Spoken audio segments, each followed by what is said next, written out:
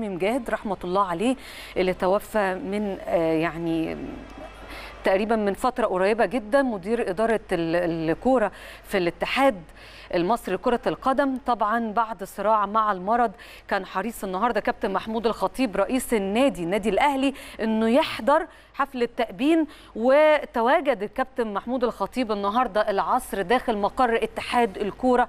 زي ما حضراتكم شايفين كده كان برفقته العميد محمد مرجان المدير التنفيذي للنادي علشان يقدم واجب العزاء لأمير عزمي مجاهد أمير نجل الفقيد. وأيضا اللجنة الخماسية المكلفة بإدارة اتحاد الكورة برئاسة طبعا السيد عمرو الجنايني. دايما بيكون حريص الكابتن محمود الخطيب على أنه يكون في هذه المناسبات والنهاردة في مناسبة تأبين رموز طبعا يعني واحد من الرموز الرياضية المصرية المهمة في مصر. شك شك. الله عليه الله يرحمه. طبعا شخصية عظيمة وشخصية يعني كان محب للجميع وكان شخصية محترمة جدا. وطبعا زي ما إحنا عارفين مجلس إدارة النادي الأهلي برئاسة طبعا كابتن محمود الخطيب ما بي- ما بيفوتوش آه، هذا الواجب لأن ده واجب وعلى مش على النادي الأهلي كل الأندية كانت موجودة لأن الكابتن عزمي مجاهد الله يرحمه من الشخصيات المحترمة ربنا يرحمه وكل تعازينا ليه ولاسرته الكريمة.